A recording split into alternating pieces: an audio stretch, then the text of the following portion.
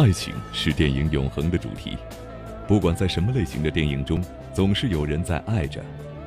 新世纪以来，爱情片在类型电影中所占的比重越来越大，我们也得以有幸在银幕上欣赏各种类型的爱恨痴愁。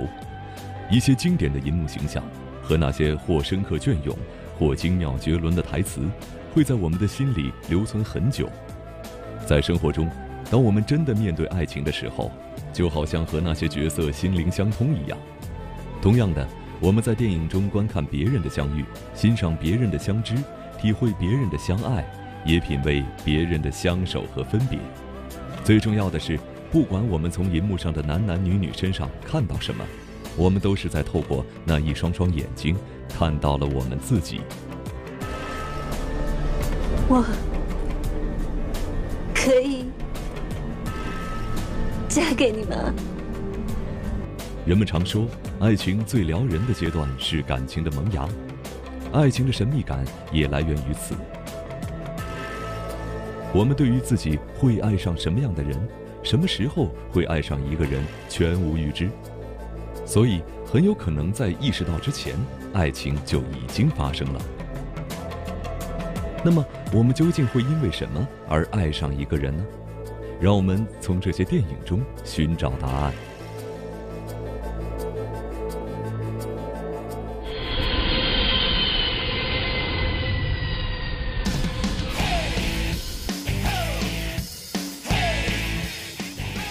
在电影《北京遇上西雅图》中，汤唯饰演一名赴美产子的拜金女文佳佳。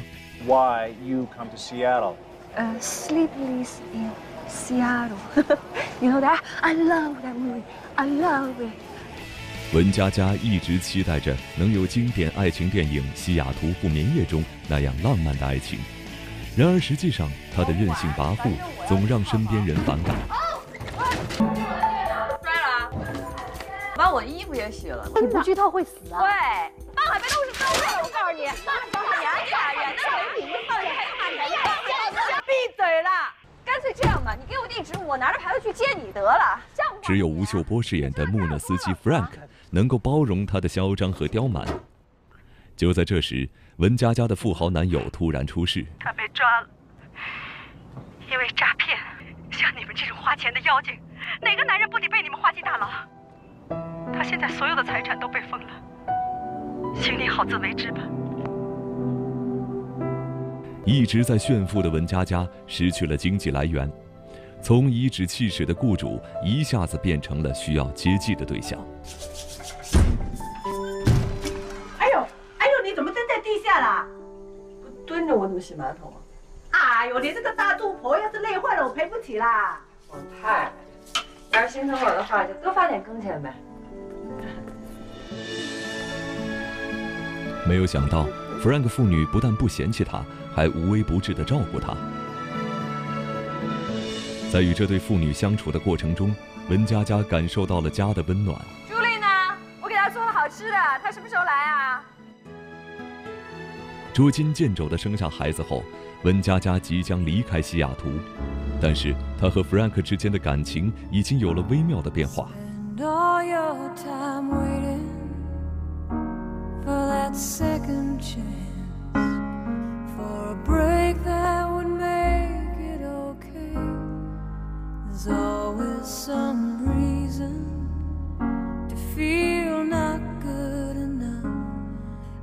回国后的文佳佳与富豪分手，两年后，文佳佳再次来到帝国大厦，她幻想中的浪漫情节真的上演了。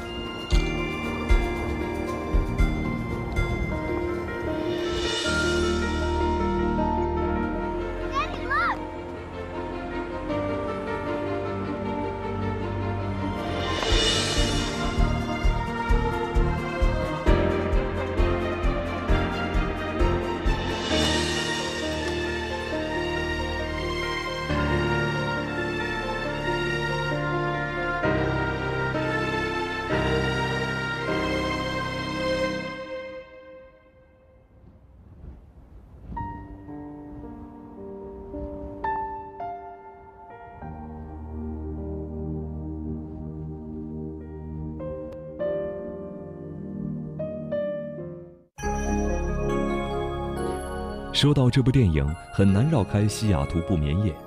两个因深夜电台而相识的陌生男女，通过电话线产生了感情，而后又因为在帝国大厦偶遇而定情。用类似的主题和情节来制定经典，大概是主创们的意图。然而，西雅图不眠夜的主题究竟是什么呢？是要让人们相信缘分，相信浪漫的爱情。但是，北京遇上西雅图的一切似乎都跟缘分不沾边儿。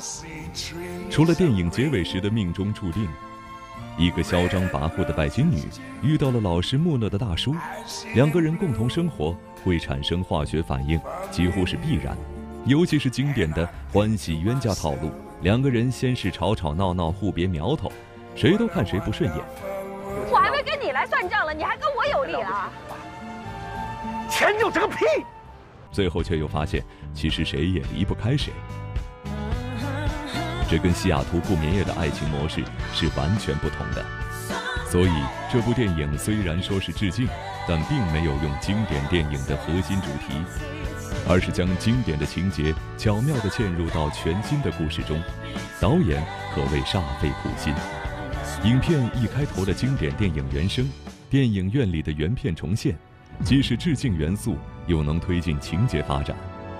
虽然我不相信什么狗屁浪漫爱情。但真要能在帝国大厦楼顶和你爱的人遇上，哇塞，太美了！所以我觉得吧，到帝国大厦去过一个情人节，真是挺酷的事儿。后来在夜晚的街道，，Frank 载着文佳佳，也像极了相同的背景音乐中，梅格瑞恩在车载广播里听到小朋友讲爸爸故事的片段，更不用提影片的结尾。可以说是完全照搬了西雅图不眠夜的情节。致敬电影的另一个好处在于，看这一部影片时，会让人们想起看另一部影片时的感觉、情怀、回忆，这些都在帮助导演让观众更容易进入情绪，对影片中的人物感同身受。上面写什么有字儿啊？只要我们住在对方心里，死亡就不是分离。这个呢？你是我一生遇到的最好的男人。你喜欢坐在这儿看出去的风景。我要向全天下失恋的人们证明，被夺走的爱人是可以通过科学的方法抢回来的。二零零九年上映的《非常完美》，由章子怡担任监制并主演。电影讲述了女孩苏菲为了抢回前男友与范冰冰饰演的大明星展开夺爱较量，却在这个过程中与何润东饰演的台湾摄影师互生情愫的故事。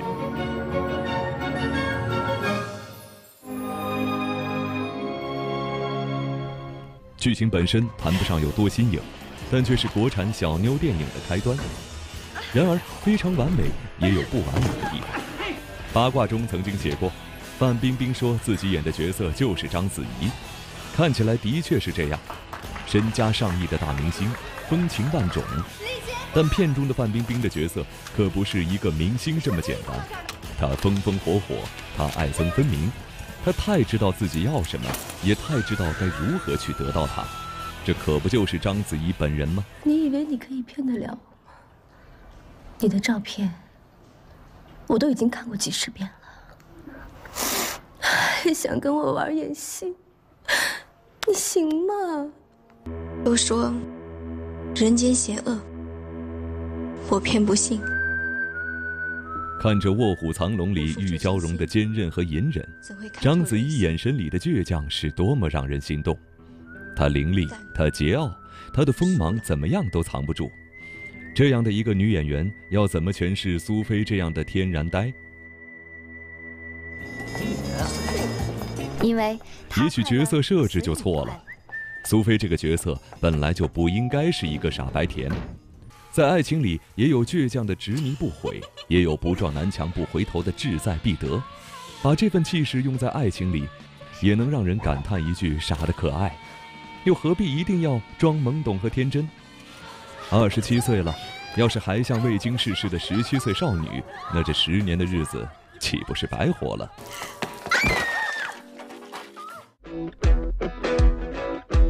和所有其他小妞电影一样，《非常完美》是一部由女性视角探寻、主要为女性观众打造的爱情电影。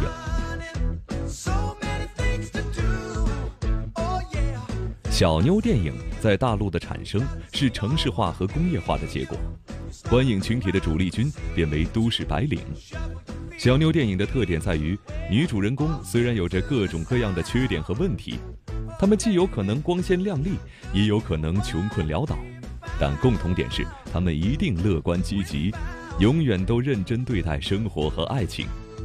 除此之外，小妞电影也是都市女性在银幕上对时尚的一次窥探。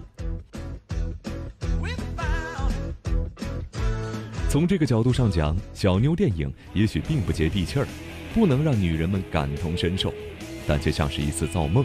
把她们短暂的从生活的重压中解救出来，送上云端。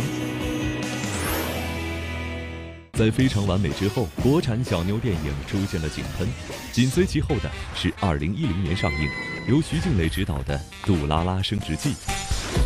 你好，我叫杜拉拉。期待你们的表现。我。这是徐静蕾的第四部导演作品，也是她的第一次商业尝试。这次尝试可以说是大获成功。将她送上了第一位票房过亿的华人女导演的宝座。他就是杜拉拉。要说这部片子有太多地方遭人诟病，比如因为主人公太过专心的谈恋爱，电影的名字应该改成《杜拉拉恋爱记》。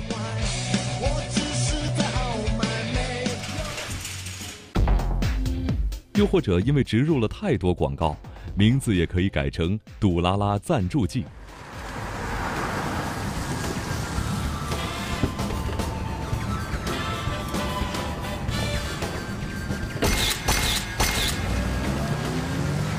可能因为一向被称为才女，观众们对徐静蕾的要求也就更严格些。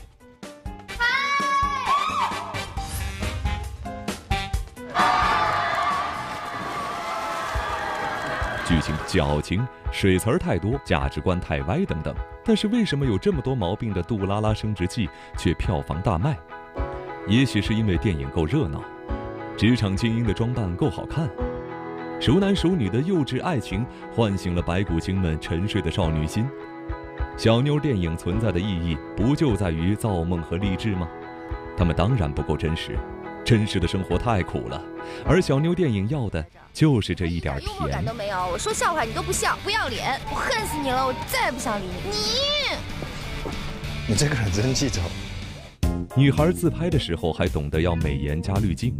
电影带给人们一些美好而不真实的幻想，似乎也无可厚非。只是希望以后导演们在塑造小妞电影的女主角时，再多考虑考虑，都市女性千人千面，并非所有人都是只会谈恋爱的傻白甜。拉拉，拉拉呀！拉拉，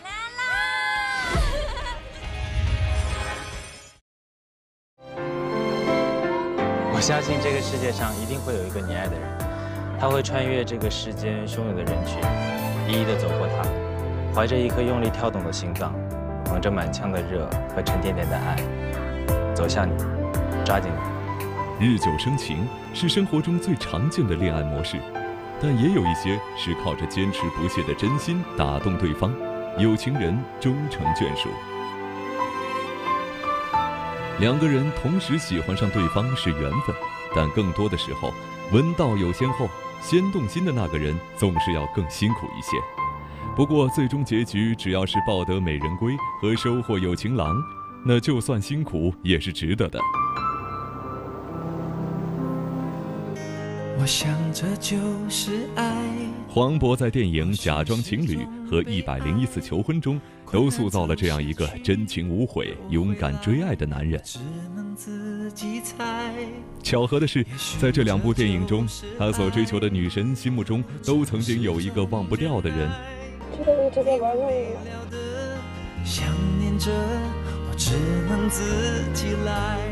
也许是怕观众看腻了帅哥美女的浪漫爱情，黄渤这样的实力派也有了跟美女搭档演爱情片的机会。给了我那么美好的一段记忆，但这只是游戏。然而，几乎可以肯定的是，反而是黄渤拯救了这两部电影。假装情侣的导演是曾经拍过《绿帽子》和《一半是海水一半是火焰》的刘奋斗。据说制片方为了争取票房，把原本的导演剪辑版剪成了现在呈现在我们面前的样子。整部电影充斥着小清新的日系滤镜，冗长而无意义的慢镜头，重复拖沓的煽情，而全片的高潮则是黄渤在雨中的那一曲高歌。看着我，沈洛，有一句话我从来没有跟任何人说过，今天我想说，我爱你。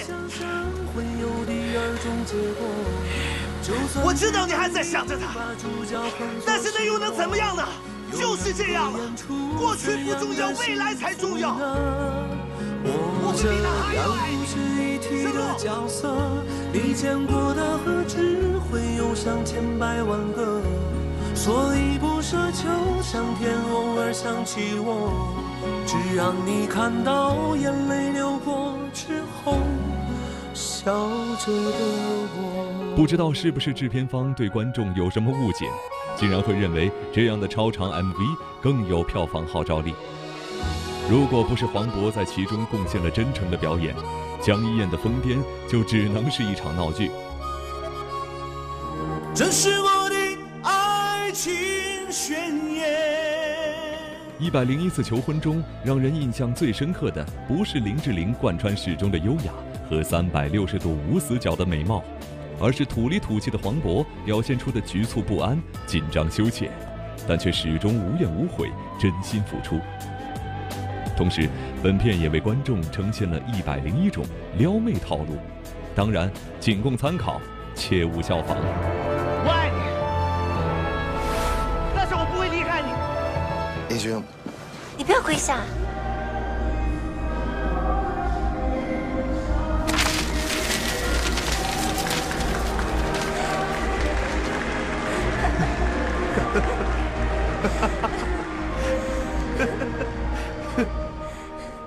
类似这样一个演员拯救一部电影的，还有2014年周迅主演的《撒娇女人最好命》，一部典型的彭浩翔式低俗爱情喜剧。龚志强，性格直率豪爽的张慧对大学同学龚志强情有独钟，却始终不敢有所表示。即使两人又成为上下级，朝夕相处，也并没有发生任何爱情故事。为什么要去台北啊？因为我们公司在台北有一个 case，我也帮你请了假，陪我在台北玩两天呢。直到龚志强在大巴上偶遇了又软又嗲的台湾女生贝贝，我可以坐这吗？可以啊。人家好几天都没有睡觉。两人坠入爱河，张慧才倍感危机。还有救吗？死心吧。像你现在这种，在一众姐妹的帮助下，通过学习撒娇向贝贝宣战。既然台湾女生这么爱撒娇，我们就以其人之道还治其人之身，用撒娇把小公抢回来。至此的行动代号是“撒娇女人最好”。讨厌。但最终还是靠真性情赢得了爱情。周公子这个人间精灵。捡起一块不通欢爱的木头，竟然也头头是道。他压根就是一个男的，他尿尿都是站着尿的。我没有啊，我有吗？他对好哥们的了解和默契，他默默掩埋起来的小心思。我往哪转你就去哪啊！啊！他不敢声张，却又从心里开出花来的甜。他默不作声，强颜欢笑的苦。他没有资格、没有立场的酸。你跟不跟我走？他欲言又止，转过头去的色，他的一双眼睛不需要任何台词的铺陈。且不说导演是否是直男思维，也不探讨究竟是否撒娇女人才能好命。我相信有很多以哥们儿为名，默默存在于自己喜欢的人周围的女生，都会对此片心有戚戚焉。听说朱明手里的刻刀特别锋利，下刀极快。不假思索。小时候学雕塑，最崇拜的就是他的快刀，因为我总是在下刀前想太多。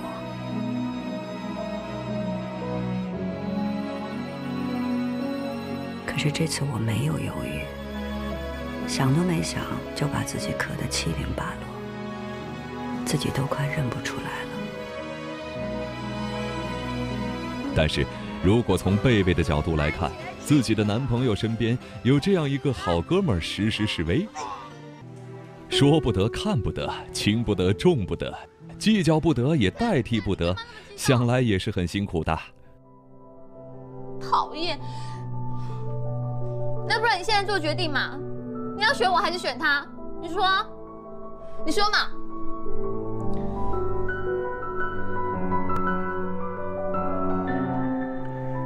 我回台北了。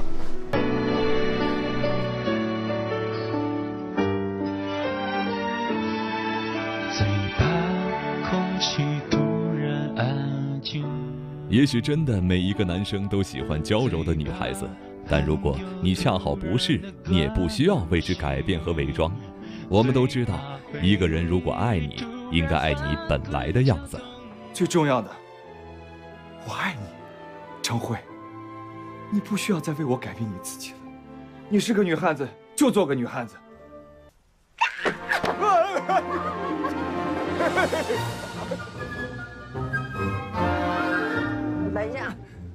说起周迅的灵气，还有一部电影可以佐证，那就是2004年李少红导演的《恋爱中的宝贝》。这也为我们提供了另一种相爱的可能性：两个与大环境格格不入的人相互吸引，并且惺惺相惜。在如今的影视圈，有一个姑娘的灵竟然能够与周迅相提并论起来，而且两人还是本家。最佳女主角得奖的是周冬雨。不是静秋，是静秋。没错，她就是获得金马奖最佳女主角的周冬雨。陈可辛评价说：“周迅的灵是她永远都能够无师自通。”恰到好处，而周冬雨却是横冲直撞，全凭直觉。周冬雨的伯乐张艺谋也说，周冬雨是天赋型演员，悟性很高。在周冬雨的出道作品《山楂树之恋》中，她就演绎了这么一段惺惺相惜式的爱情。走过了这一片青草坡，有棵树在那等着。在民风淳朴的农村。知识青年静秋和地质勘探队的老三相遇了，在那样一个热火朝天、充满干劲儿的环境下，静秋的安静和老三的文艺似乎并不太合时宜。这也是为什么几乎一见面，两个人就迅速认定对方是自己的同类。在这世上，有那么一个人，他宁可死，也不会对你出尔反尔的。只可惜，因为太过注重表现这段爱情的纯洁，这种默契几乎没有展示的机会，它仅仅变成了一个短暂的开头，随后就无疾而终。你看，你不是说我穿红衣服好看吗？我穿着它来了，我穿着它来看你了。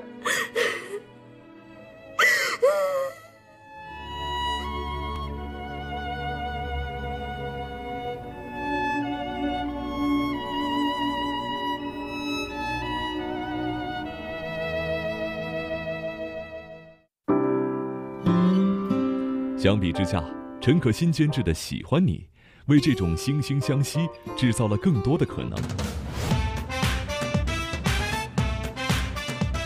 身家三百五十亿的陆晋入住了自己即将收购的一家酒店，因为对餐厅不满意而准备放弃收购。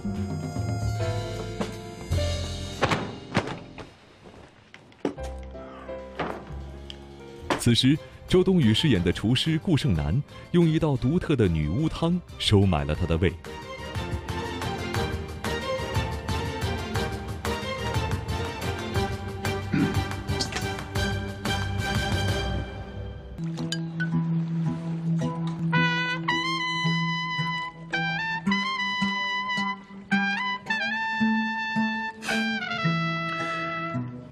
觉得你把酒店经营成这样。早就该被开除，没想到你竟然还有一位这样的女厨师。此后，他屡出难题考验，而他也当仁不让的接招。大，就一个大。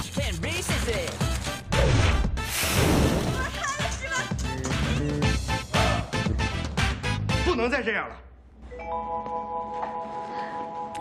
一来一回间，两人虽然从未见面，但却几乎成为了知己。我还是喜欢收购。机缘巧合中，顾胜男发现这位很懂自己的食客，竟然是自己无意中得罪过的霸道总裁。幺幺二三房的客人，经我确认，就是维恩集团的总裁。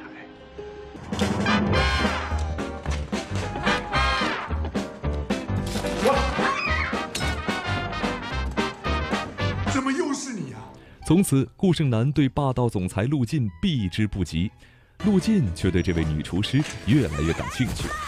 在这一追一逃中，两人擦出了不少爱情的火花。吃饭了？你怎么又来了？吃饭了？不是来吃饭的吗？准备睡觉。这部电影说起来和《山楂树之恋》共同点并不少，同是周冬雨主演，自不必说。同样，全片最亲密的举动也不过是拉拉小手，一句“我爱你”都不肯说。但是，为什么两者的口碑却相差那么多？很多人都说喜欢你就是一个霸道总裁爱上我的玛丽苏故事。然而，这部电影就是为了告诉你，玛丽苏的故事也可以很动人。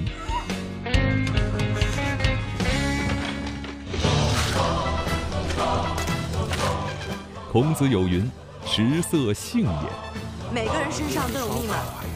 一个是口味刁钻的挑剔老饕，一个是技艺高超的倔强厨师，还有什么比这更适合一段爱情故事的发生？巧的是，十二年前，金城武跟周迅也有这么一段吃火锅的戏码。比起喜欢你的奇思妙想，如果爱中的这段火锅戏显得平实许多。然而，看着周迅一捧一捧地把大白菜丢进锅里，跟金城武畅想着未来，一时间竟然也分不出哪一幕更撩人。可是想想看，如果爱里两个人最后的结局，却不得不让人感叹一句：相爱只不过是一切的开始。在很久很久以前，你拥有我，我拥有你。在很久很久以前，你离开我，去远空翱翔。爱没有，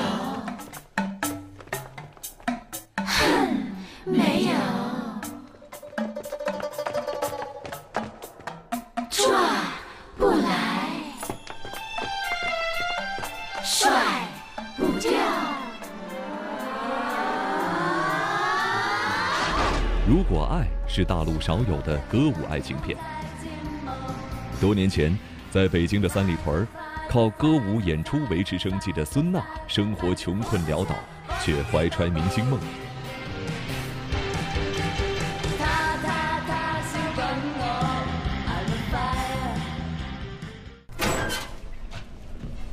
歌舞团解散了。解散？对啊，有多难？说不定有一天你在街上碰见我，我已经当明星了。我觉得你应该行的。真的吗？不是打不死的吗？在很久很久以前，那时，一无所有的穷小子林建东与孙娜因为食物结识，两个在黑暗中相互扶持、相互取暖的年轻人，却因为女孩突然在生活露出的夏季中瞥见了极光片羽而分道扬镳。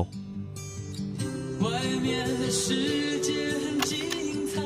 这是我来北京后一直攒的钱，应该够你买机票回香港的。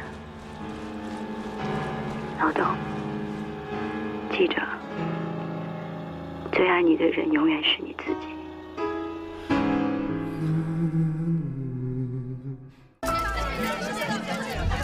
孙娜跟了导演聂文，真的成为了人人艳羡的大明星。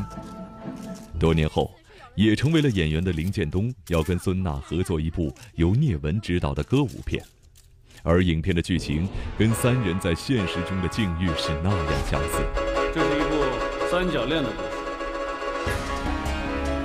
孙娜饰演小雨，她失去了回忆，忘记了旧情，流落街头。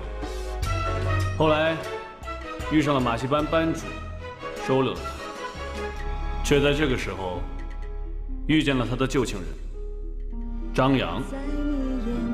一边是风雨共济、相伴多年的聂文，新欢也已经成了旧爱；一边是真心爱过、怀有愧疚的林建东，多年不见，旧爱又做了新欢。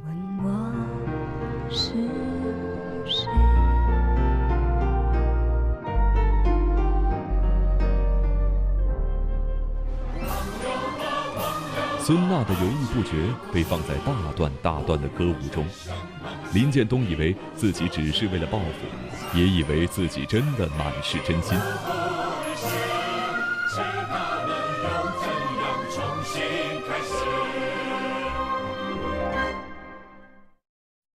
这个女人闯入他生活的时候，一声招呼也不打，自顾自地干预着他的人生，而他竟然也不厌烦，就这样接受了。哪知道他走的时候，也同样这样悄无声息。不要看着我走。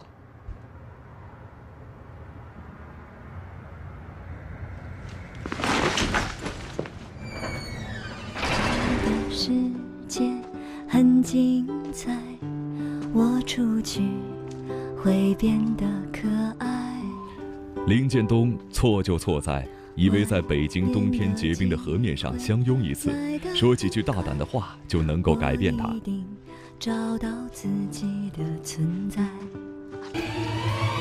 不，他还是那个不顾一切要出人头地的老孙。他又一次跟一个导演走了。是啊，他就是你那个张副导演的同学吗。对，他就是。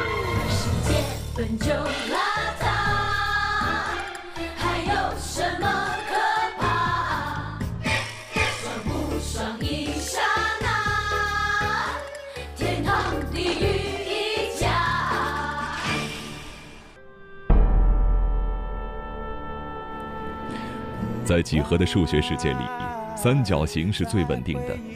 然而在爱情里却刚好相反。如果爱的英文片名叫做 Perhaps Love，直接翻译过来的话，意思是可能是爱情。我们都以为孙娜和聂文之间只是互相利用，就如同聂文在片中说的：“当时你需要一个导演，我需要一个伴儿。”然而，为什么戏一部接一部的拍，他们始终没有分开？这么多年下来，几分粉饰，几分真心，又有谁能说得清？我们都以为老孙和林建东之间是爱情，但这份爱情究竟有没有战胜他们两个人的欲望？也许对方只是寒冷的冬夜里一丛烧旺的炉火，等到冬天过去，热情自然就会熄灭。可能是爱情，也许是爱情。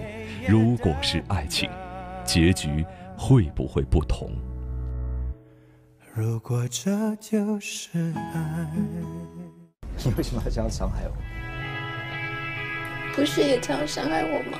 我们分手吧，什么时候开始？怎么说走就走？啊！别别别！对我来说太难了。都说爱情让人成长。大概是因为爱情是普通人的一生中，除了生离死别外最波澜壮阔的经历。最美满的爱情能够和最爱的人相守一生，无怨无悔。但大多数人没有这么幸运。可能有点疼，忍着点啊。二零零六年，庄雨欣执导的《爱情的牙齿》，讲述了女人钱叶红几十年来的三段关于爱情的。疼痛记忆，牙不算什么，我能坐起来吗？这样我的背受不了。钱叶红十几岁时，在特殊的时代背景下，人们不敢妄谈爱情。作为学生干部的钱叶红，更要表现的是浪漫如洪水猛兽。哎哎哎哎哎！给你们念封信，钱叶红同学。经过长期的思想斗争，我还是决定给你写这封信。因为我实在受不了了。你的音容笑貌、一举一动，这些天无时无刻不萦绕在我脑际。我想欺骗自己，却做不到。我不得不向你承认，我爱上你了。看着对方的羞愤，他感到得意，却没想到这份得意给他带来了一生的疼痛。一块砖头让他的背每到阴雨天就会疼，也让他跛了一条腿，还为此丢了性命。下午我们去游泳，何月松的脚伤没有好，我们不让他去，他偏去。后来他脚抽筋儿，就沉下去了。我们找了半天，没没找着。年少时的爱情总是不那么懂事，但没有一个像他那样，代价是那么沉重。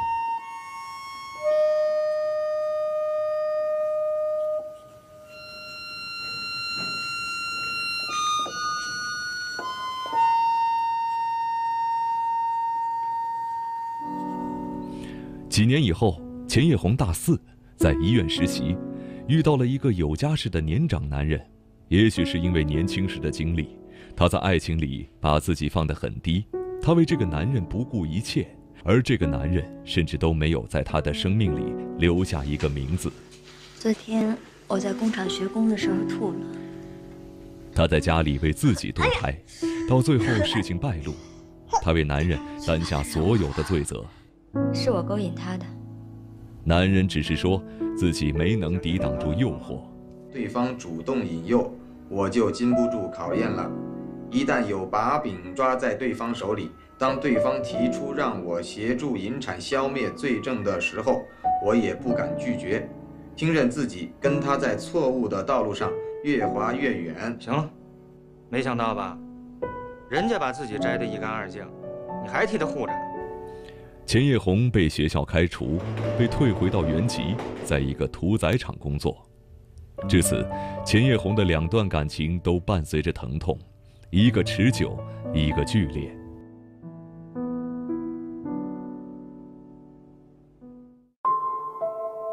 大学毕业的时候呢，我爸已经不在了，我班车没赶上，没留成精，想要调回来就难了。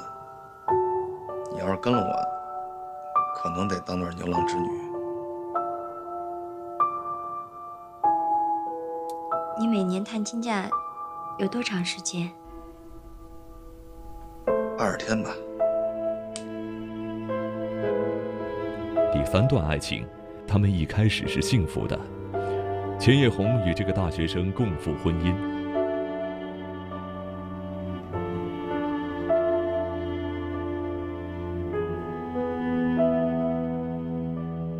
虽然一年里只有几天能见面，但每年的那几天里是钱叶红唯一真正的爱情。可惜这场爱情打败了距离，却没能打败庸常的生活，他们还是分开了。前夫留给钱叶红唯一的纪念是自己的那颗虎牙，生生拔下，还带着血腥的味道。只有疼才能让我记住你。秦艳红用一次不打麻药的拔牙，让自己记住这段爱情。牙齿拔掉只会疼一阵子，没关系，伤口也会痊愈的。但是原来长牙的地方，永远都会有一个空荡荡的缺口。在爱情片里看到这样悲观的爱情，机会不多。即使过程艰难，观众也希望看到大团圆的结局。这也是为什么近几年越来越多的浪漫爱情轻喜剧迅速占领电影市场。但是像钱叶红的经历这样疼痛，他仍然敢于再相信一次爱情。谁又能说这不是一种浪漫？人人都心羡白头到老的爱情，似乎只有这样才能证明这一生过得幸福。可是谁知道这长长的一生里，两人经历了什么样的波折？是否也曾让对方痛苦不堪？艰难的过程和幸福的收尾，似乎总比短暂的甜蜜和匆匆的结束更让人向往。但是，如果你我没有幸运到和相爱的人共度一生，至少可以选择不在错的人身边浪费爱情。可是，恐怕连这一点也没有那么容易做到。毕竟，爱情就像牙齿，不能自拔。一会儿要下雨了，你怎么那么面啊？直接过去不就得了吗？我下不了手。你这个流氓！难道说由武世贤导演二零零五年上映的电影《独自等待》是一个非典型的爱情故事？观众很少会在电影院看到这样没有结局的结局。要么好好活着，要么赶紧死。大学刚上两年就撤回来的陈文，和他的铁哥们儿高中同学李亮做着鲜有年轻人介入的买卖——古董生意。逛店的都比你来的早。当老板不能随时来，有个嘚儿意思。哎，大爷您慢走啊。除了坐店守摊，陈文最大的乐趣就是跟高中那帮同学斗嘴耍贫，乐此不疲。发现都想搞对象了，是不是啊？在一次夜里聚会的时候，陈文认识了刘荣。陈文第一感觉就是多年来等待和寻觅的梦中情人出现了，因为在陈文看来，刘荣符合自己十七岁那年开出的一个关于未来梦中情人的单子：幽默、大方、大眼睛、白皮肤。最主要的是，刘荣不像别的都市女孩那样，总是摆出一副拿着捏着的样子。穿过幽暗的岁月。也曾感到彷徨。然而，陈文对刘荣的追求并不顺利。是啊，在遭遇了明确拒绝和情敌打击后，陈文仍不死心。行，那你回头可别说我没努力追啊。这就叫努力啊。他在考验我，但是我不管，我是不会先回头的。这也太不公平了。在李亮的妹妹李静的帮助下，陈文总算取得了一点进展。可惜这一次他也没能把握住机会，反而弄巧成拙。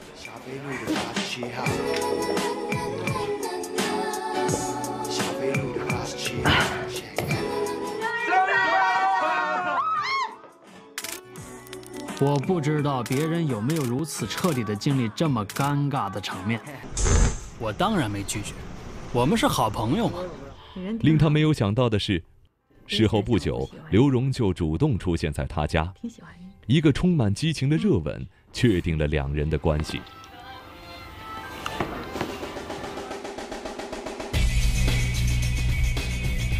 我的梦中情人终于从梦中走出来了，我别无他求，人生再也好不过如此的感觉。事情的发展似乎永远和陈文的期待背道而驰。当陈文以为自己和刘荣进展顺利、感情稳定的时候，准备求婚的他，又在买戒指的商场看到了刘荣与当初的情敌举止亲密。我忘了，我不是大款。我去你的陈文！这次过后，陈文万念俱灰，彻底放弃了刘荣。李静陪着他度过失恋的痛苦。这是我去年送给他的。从他高中那会儿就留着你送给他的每一样废物。而此时，陈文才发现，身边这个看似大大咧咧的姑娘，其实已经心思细腻的暗恋了他好几年。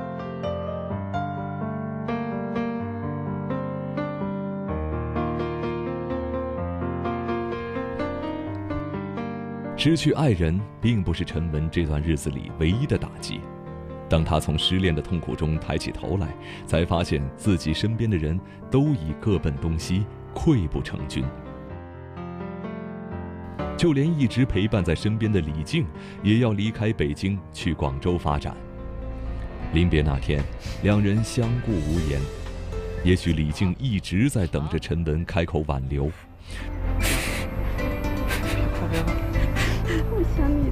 我也会想你的。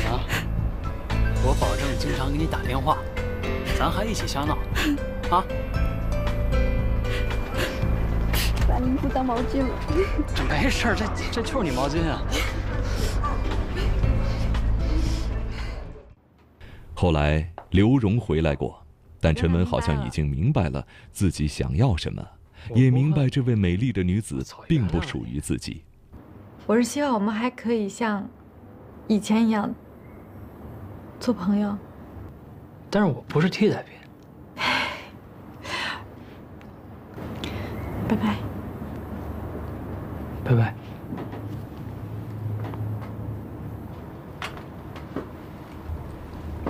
旅途还没有到达终点，他的真爱尚未到来，一切似乎都回到了原点。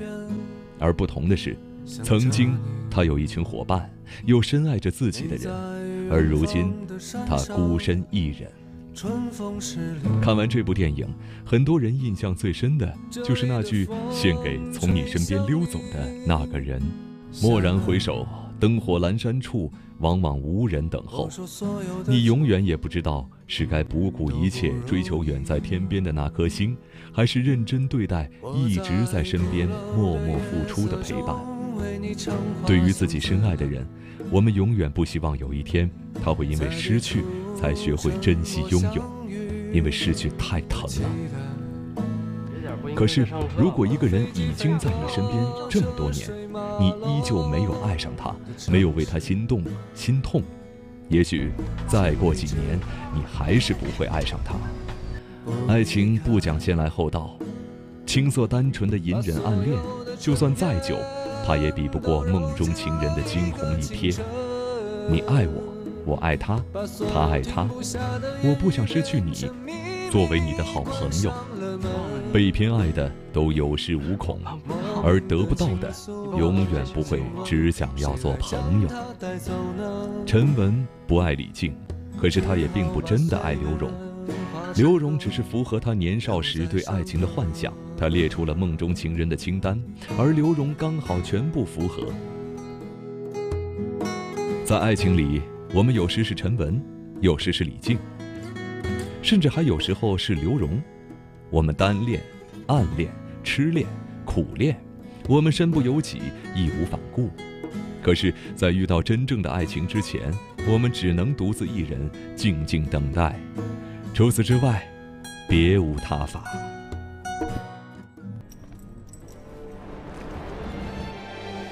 历史风云际会，各路英雄豪杰粉墨登场，社会气象万千，小人物喜怒哀乐尽显人生本色。时代与社会紧密结合，人物与事件环环相扣，光影之中感悟历史沉浮，解读人性永恒。敬请关注《行进中的中国光影之历史题材电影》。